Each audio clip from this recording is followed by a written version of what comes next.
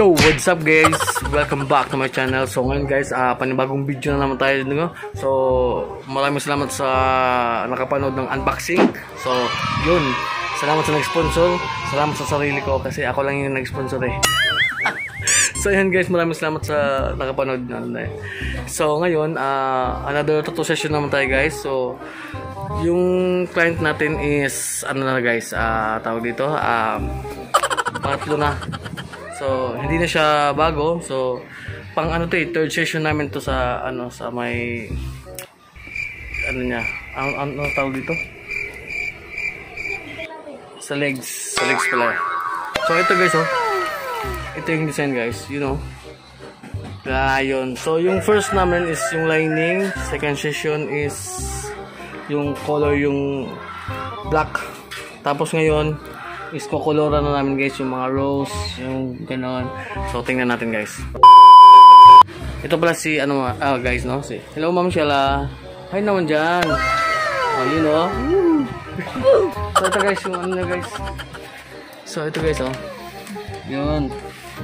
So, ngayon is pangatlong session namin ngayon. So, ang gagawin namin ngayon is lalagyan namin ng kulay. Yun. So, kaya ba ma'am? Ma'am sila, kaya mo? Kaya? Kaya na Jud. Sabi niya guys, ah, kayang kaya lang daw. Oh my God! Wow! Sisiw na sisiw. No, so yun, uh, guys, abangan nyo guys, no? Sana matapos nyo yung video na to. So, medyo hindi lang malakas yung boses ko guys kasi ano yung may yung pamangkin ko tinuduyan so yun so uh, before tayo mag ano mag umpisa sa session uh, intro muna at syempre yung shout out so yun. Dyan lang kayo standby lang kayo and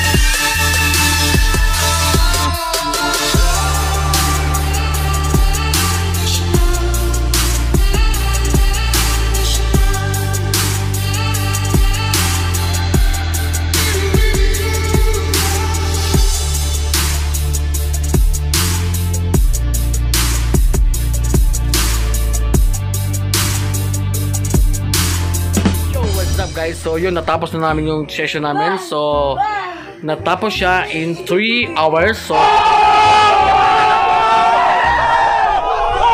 so yun.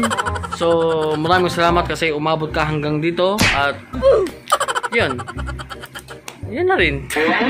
So, yan guys, abuti na kaya ni ma'am. Ma'am Sheila yung tato. So, ito na yung finished product namin. So, syempre, kung bago ka pa lang, huwag mong kalimutan mag subscribe and hit the notification bell for all the, the above and, the, and something like something like that. So,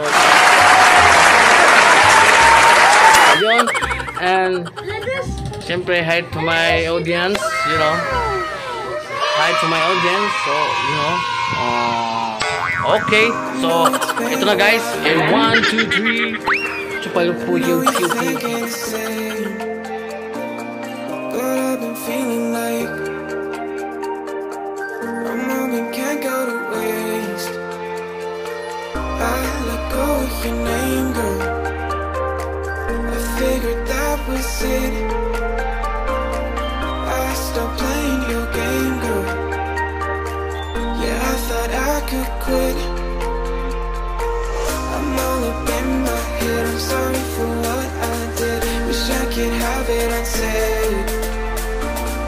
Just make it right instead of treating me like